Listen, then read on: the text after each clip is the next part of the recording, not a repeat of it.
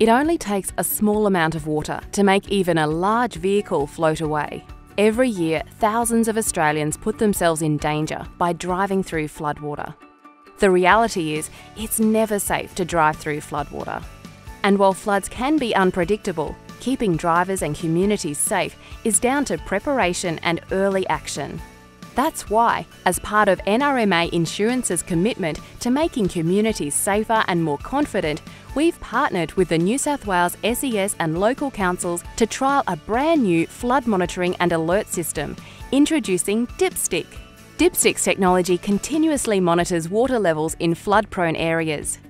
As soon as water starts rising, the DipStik device sends an SMS to the local council and the local New South Wales SES unit, giving them maximum time to prepare and respond to flood danger.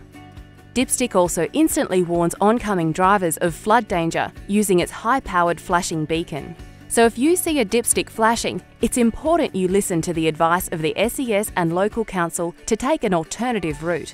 When water levels return to normal, DipStik sends another SMS to alert Council and the SES that the community can now confidently get back on the road. Remember, it's never safe to drive through floodwater.